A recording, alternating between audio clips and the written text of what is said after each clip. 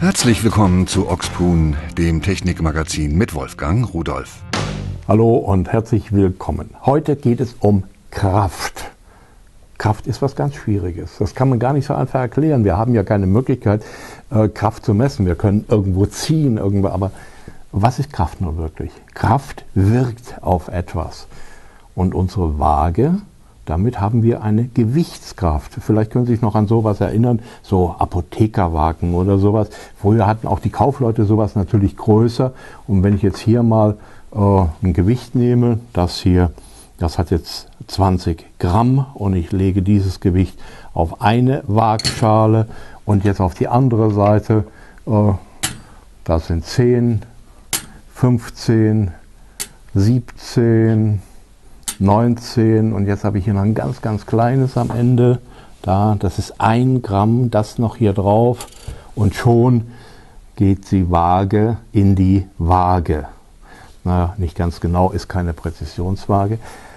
Damit kann ich also Kraft messen, Gewichtskraft. Die Masse des Gewichtes wird angezogen vom Erdmittelpunkt, theoretisch. Und äh, jetzt sind beide Seiten gleiche, haben die gleiche Masse. So, und dann sage ich, das wiegt eben so und so viel, ein Kilo oder zwei Kilo oder zehn Kilo. Sowas war früher mal. Heute haben wir andere Wagen, die auch die Gewichtskraft messen. Wenn ich die einschalte, so eine Küchenwaage, und lege hier ein 50 Gramm Gewicht drauf, dann kann man das hier ablesen. 50 Gramm, ganz genau.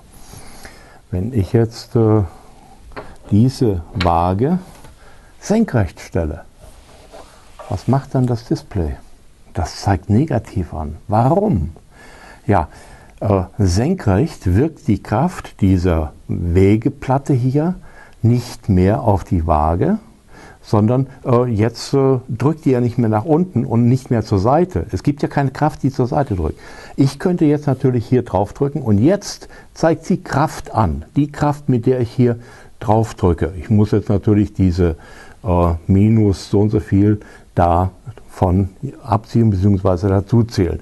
Wenn ich jetzt hier dran ziehe, zeigt sie auch die Kraft an, die Zugkraft, mit der ich arbeite. Jetzt sind wir also vom Gewicht auf Kraft gekommen. Übrigens das Gewicht, nur dass wir mal darüber gesprochen haben, was unsere Wagen wiegen, eine solche Waage, das ist sehr, sehr abhängig von dem Ort, wo man wiegt. Und wenn ich am Äquator bin, dann bin ich 21 Kilometer weiter vom Mittelpunkt der Erde entfernt und da nun die Gravitation mit dem Quadrat der Entfernung abnimmt, äh, messe ich dort weniger Gewichtskraft. Also etwas wiegte weniger. Am Nordpol oder am Südpol ist es ganz anders. Dazu kommt die Gravitation und noch so viele Einflüsse. Aber wenn wir messen wollen, was kann ein Abschleppseil aushalten? Was kann ein Haken an der Wand aushalten oder an der Decke aushalten? Und diese ganzen Sachen, dann brauche ich ein spezielles Kraftmessgerät. Und solche Kraftmessgeräte, die überall notwendig sind, denn wir wollen ja nicht, dass unsere Sachen kaputt gehen. An den Leiter, auf die wir hochklettern, muss ich ja wissen, was hält die aus und viele andere Sachen. Solche habe ich mir mal angesehen und ich möchte Ihnen gern mal drei dieser Geräte vorstellen. Ich habe hier das PC FG20 SD, ein Kraftmessgerät im Bereich bis zu 20 Kilogramm. So, jetzt wollen wir mal sehen. Wenn wir das einschalten, da können Sie erkennen, ein schönes hintergrundbeleuchtetes Display mit großer Anzeige. Im Moment meckert es mich an und es hat auch recht. Ich werde Ihnen auch zeigen, wieso. Da gucken wir mal aufs Zubehör, denn äh, da haben wir als erstes hier so ein äh, komisches UFO. Wenn ich das auseinanderziehe, da ist eine Speicherkarte drin, die wird mitgeliefert und diese Speicherkarte, die muss ich hier einführen. Darauf werden dann die Messungen gespeichert. So, und jetzt sollte er äh, ruhig sein und er zeichnet aber jetzt die Daten bereits auf. Er sagt also hier Data recorded. So, und wenn ich ihn anhalte, dann zeigt er mir auch die Datensätze und so weiter. Äh, ich komme gleich nochmal darauf, das ist ja eigentlich der Hauptdarsteller. Ich wollte Ihnen nur nochmal zeigen, hier wo die Speicherkarte drin ist, das ist nicht nur ein Behälter, sondern das ist ein Adapter für USB. Sie können die Speicherkarte anschließend aus dem Gerät herausnehmen und die aufgezeichneten Datensätze per USB, wenn die wieder hier drin ist, dann auf den Rechner übertragen. Zubehör eine Verlängerung, verschiedene Kraftaufnehmer, also ein flacher, so Meißelform, eine Spitze oder dieser Haken und die werden dann hier oben äh, drauf geschraubt und dann kann man damit beliebige Sachen messen. So. Das heißt also, wenn ich jetzt zum Beispiel hier oben anfassen würde, dann wiegt es sich quasi selbst. Es sagt also jetzt äh, 0,6162 Kilogramm, so in etwa, komplett mit Batterien. So, und dann kann man in verschiedene Menüs hineingehen. Ich kann einmal die Zeit einstellen und die Zeit und das Datum setzen. Das ist natürlich wichtig, wenn man Messreihen hat, etwas aufzeichnet, damit man weiß, äh, wozu dieser Datensatz gehört, wenn man ihn später auswertet. Und äh, dann habe ich die Möglichkeit des Nullsetzens. Das macht das Gerät beim Einschalten allerdings automatisch. Muss ich nur dann machen, wenn ich irgendwie die Lage geändert habe oder wenn ich äh, irgendwo eine Abweichung habe, weil ich ein Gewicht schon drangehangen habe. Äh, Peak Enter ist auch so etwas. Das Gerät merkt sich die Spitzenlast, die mal da war. Das kann ich also auch einstellen, auch einen Bereich. Und ich kann auf schnell und langsame Messwertaufnahme äh, setzen.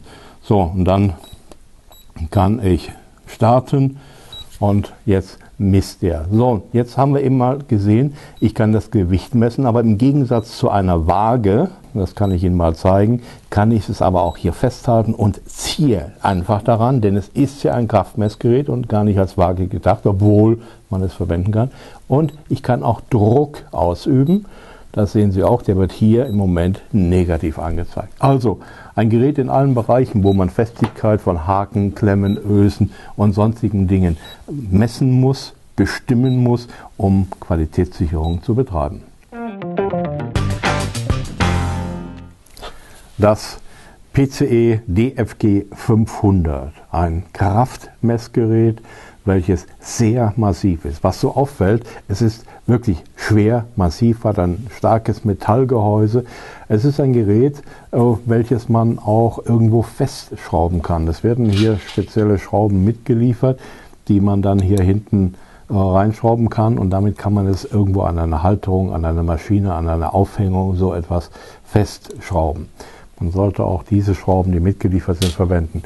Sie sehen auch äh, an den mitgelieferten Kraftaufnehmern hier, die sind auch schon recht stabil, recht dick, auch die Spitze oder äh, der Haken und die Verlängerung. So, und wenn man dann hier oben etwas drauf geschraubt hat, dann geht es ja im Grunde genommen schon los. Es ist ein Akku eingebaut, der kann aufgeladen werden über das mitgelieferte USB-Kabel und diesen äh, Netzadapter, den wir da haben. Und es ist Software dabei zum Auswerten der Daten, die gespeichert werden. Das kann auch per USB zum Rechner übertragen werden. 1000 Messwerte können aufgenommen werden. Sie sehen, das Display ist groß, gut ablesbar, sehr anständig gemacht. Und äh, ich kann jetzt hier einfach mal zeigen, wie extrem schnell es reagiert und wie fein die Auflösung beträgt. 0,05 Newton und ich kann bis 500 Newton hiermit messen. Und wenn ich hier dran ziehe, dann sehen Sie, die andere Richtung geht auch. Ich kann also äh, auch Peak-Messungen machen. Wenn es auf Peak gestellt ist, merkt es sich den Maximalwert, der aufgetreten ist, oder Minimalwert. Ich kann auch Grenzen einstellen. Und ich kann auch die Peak Tower einstellen, die notwendig ist, damit die Kraft, die muss dann anliegen, eine bestimmte Dauer, damit sie überhaupt gemessen wird. Also ein absolut professionelles Gerät, so wie wir es hier haben, welches äh, in einen Messbereich kommt, wo man also tatsächlich äh, als Mensch schon Schwierigkeiten hat, den komplett auszunutzen. Da muss man kräftig dran ziehen. Ähm, ein solches Kraftmessgerät ist absolut wichtig, wenn man zum Beispiel äh, Materialprüfungen macht, Zerreißprüfungen macht oder auch Druckprüfungen macht. Was hält so etwas aus? Äh, ich habe es mal versucht ein rohes Ei damit äh, zu zerstören. Aber dafür ist es natürlich nicht gedacht, sondern mehr im professionellen Bereich. Also das PCE DFG 500, ein massives, sehr stabiles Gerät, welches bis zu 1000 Messwerte speichert und 16 Stunden mit dem Akku in Betrieb bleiben kann. 2 Kilonewton, also 2000 Newton, entspricht so Pi mal Daumen 200 Kilogramm. Das ist das, was dieser Sensor hier ab kann. Ich kann hier ziehen und drücken, äh, so viel schaffe ich natürlich nicht. Äh, kann hier meine Anschlüsse, wo ich dann die Teile, die ich messen, auf Zug oder Druck belasten will, äh, dranhängen kann. Und äh, er wandelt das jetzt um, diese Kraft, in ein elektrisches Signal und über diese drei Meter Leitung bringt er dann zu dem FP2K von PCE so, und das zeigt mir dann an, was wir haben. Jetzt habe ich hier ein bisschen rumgespielt. Ich müsste das erstmal auf Null setzen. Das tue ich jetzt. So, jetzt haben wir 0 Newton in der Anzeige. Und wenn ich jetzt versuche, den Sensor zusammenzudrücken, dann sehen Sie, naja, also mit Gewalt, mit der einen Hand schaffe ich dann gerade mal 100 und so und so viel Newton. Also ein professionelles Messgerät äh, für einen relativ hohen Messbereich. Der äh, Einsatz des Gerätes ist also sehr, sehr universell. Wenn wir uns das Zubehör mal anschauen, da haben wir hier so einen Adapter für USB. Da steckt eine Speicherkarte drin und diese Speicherkarte, da ist eine kleine USB-Speicherkarte drin, die kommt hier in das FP2K hinein. Darauf kann ich meine Werte äh, speichern und Netzteil dabei für eingebauten Akku und so weiter. Äh, sogar ein serielles Anschlusskabel ist hier noch dabei. Das heißt, viele ältere Messcomputer haben hier noch einen seriellen Anschluss. Aber das USB-Anschlusskabel, was ich hier angeschlossen habe, das geht zu meinem Rechner und die mitgelieferte Software, die wir hier sehen, äh, bietet mir alle Möglichkeiten, dass ich das Gerät quasi fernbedienen kann. Aber nicht nur das, sondern äh, ich habe auch die Möglichkeit, hier meine Sachen zu speichern, auszuwerten, darzustellen und ich kann in Echtzeit darstellen, was ich messe. Wenn ich jetzt hier mal starte, dann können Sie die Kurve in der Mitte erkennen. Ich hoffe, so geht's gut. So, jetzt zeichnet er hier wieder auf und jetzt werde ich mal hier meine Kräfte äh, walten lassen und Sie sehen, da geht die Kurve nach unten und wenn ich auseinanderziehe, dann geht sie nach oben und oben in der Mitte bekomme ich auch noch in einem großen Feld angezeigt, wie im Moment die Kraft äh, ist, die ich hier beaufschlage. Also ein Kraftmessgerät für professionellen Einsatz bis zu 2000 äh, Newton, das ist also wirklich eine ganze Menge ein Gerät. Ich muss sagen, ich habe ein bisschen damit gearbeitet und gespielt. Ich habe zwar, weil ich ja nichts herstelle, was äh, irgendwie etwas halten muss, nicht so direkt den Einsatz dafür, aber interessant ist es doch, denn äh, wenn ich mir überlege, was man heutzutage alles machen kann mit Elektronik und was man alles an Werten aufnehmen kann, speichern kann, verarbeiten kann, diese Kombination, die macht es gerade aus. Das war eine kleine Auswahl an möglichen Kraftmessgeräten, die Sie wahrscheinlich einsetzen können bei sich im Unternehmen zur Materialprüfung, äh, im Prüffeld, zur Güteprüfung und was auch immer. Äh, Sie sehen es hier von einfachen Geräten über Geräte mit externen Sensoren. Es gibt natürlich auch noch welche, die können viel höhere Kräfte. Aber das hier ist ja schon ein mächtiges Teil. Der schaltet sich übrigens auch das Display äh, automatisch ein, sobald wieder eine Veränderung an der Kraft da ist.